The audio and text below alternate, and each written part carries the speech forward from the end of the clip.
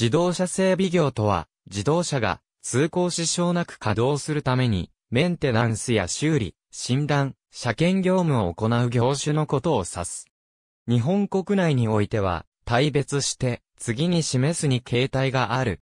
運輸局長の認証を取得して、自動車の分解整備を事業として経営できる工場であり、自動車の種類によって、普通自動車、小型自動車、軽自動車の3種に区別されており、取扱車種と装置により人員、設備、面積が決められている。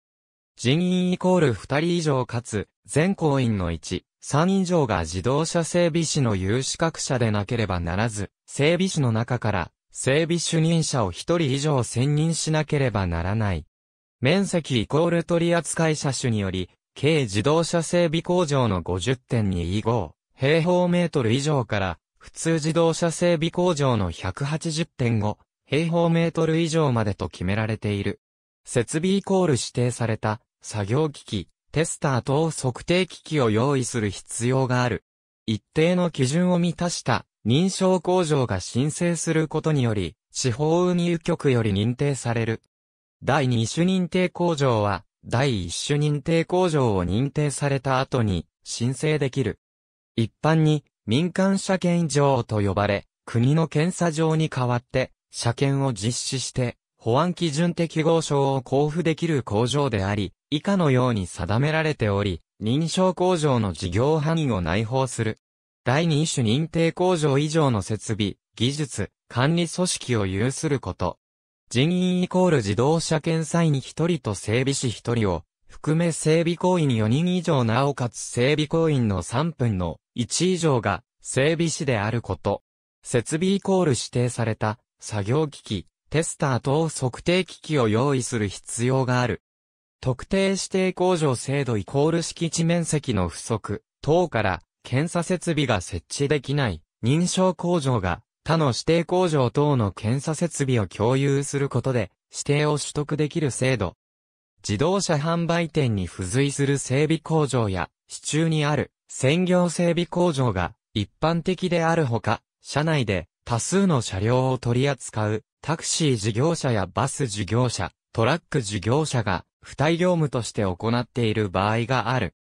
整備工場の認証及び指定は、法人、個人を問わず、要件を満たせば、誰でも取得することができるため、自動車整備科を持つ、大学、専門学校や高等学校が、学校法人として、認証を取得しているほか、路線バスを運営する、地方公共団体、各都道府県警察、東京消防庁、衆議院、参議院、宮内庁、陸上自衛隊等、組織内で多数の車両を管理、運用する、地方公共団体の自家整備工場が、認証工場、指定工場となっている。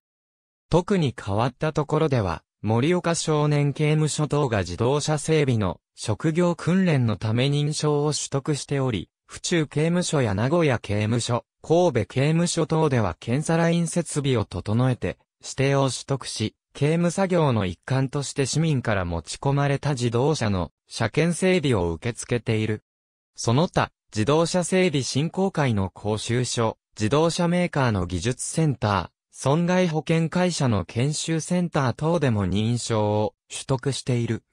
認証工場事業並びに指定工場事業を廃止する場合は、道路運送車両法第81条第2項により、30日以内に工場を管轄している運輸局長へ廃止届を提出しなければならない。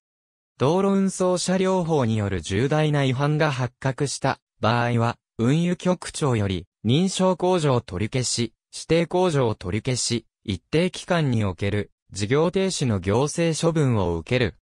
指定工場のみを取り消された場合は、認証工場のみ認証されるが、認証工場を取り消された場合や、認証工場、指定工場の両方を取り消された場合は、取り消された工場は、自動車分解整備業務を行うことができない。認証工場事業並びに指定工場事業を取り消された工場は、取り消し日から2年間は申請が不可能となる。ありがとうございます。